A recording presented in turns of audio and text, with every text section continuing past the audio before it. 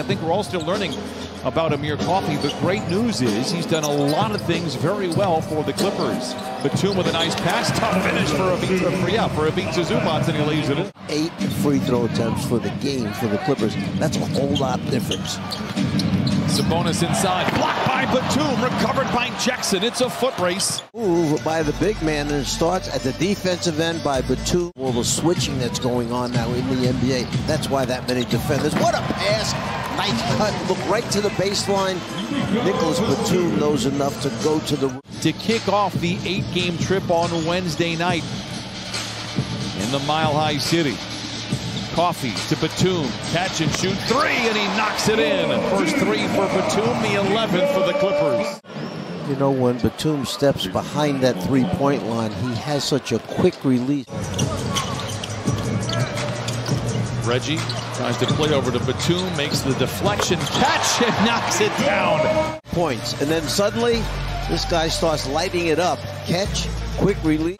Good job of reading the eyes of the passer that time by Hartenstein, jumping in the passing lane.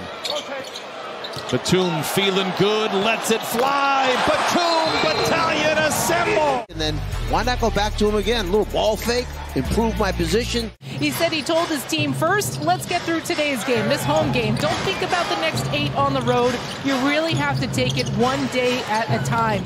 See, the offense is humming for the Clippers right in time as they head out on an eight-game trip. Speaking of playing well, how about Nicolas Batum?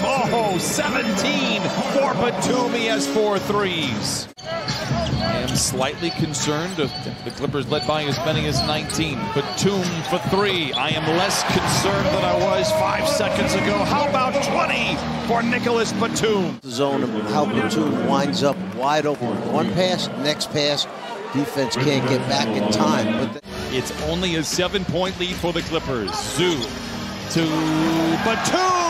Bonjour, Méchant, as he flushes it in 22 for Nicolas Batum. For him, 15 points, 10 rebounds, but does have seven assists as well.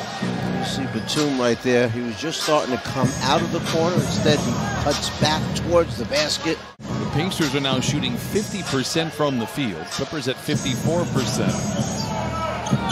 Pivotal stretch of the game. Here is Batum for three. Ho, ho, ho! The French Knight delivers again. I think this one got you a little bit excited. The swing of the basketball, you get Batum in the corner. He's so comfortable there. Knocks it down. Not using up a lot of time on the clock, getting uncontested shots. All five scorers.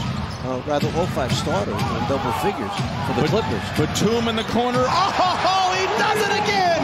One more for the road! They found him. Well, then they found him over the left corner.